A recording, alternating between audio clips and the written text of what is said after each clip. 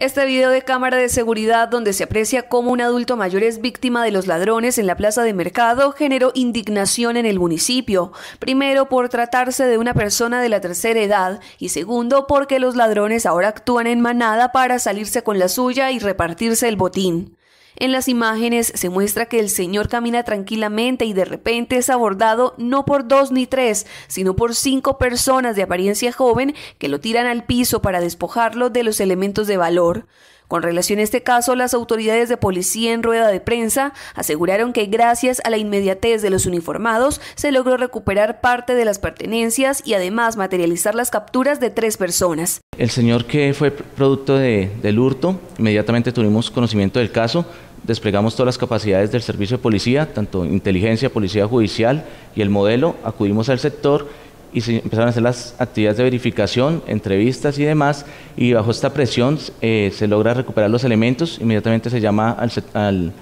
al afectado, se le hace una entrega de estos elementos y continúa la investigación y sin duda se, va a dar con el paradero de estos responsables. Pero el trabajo de las autoridades no ha terminado y ahora los esfuerzos están concentrados en dar con el paradero de los demás responsables de este robo y por supuesto seguir redoblando la seguridad en la plaza de mercado, uno de los sectores más convulsos de la ciudad.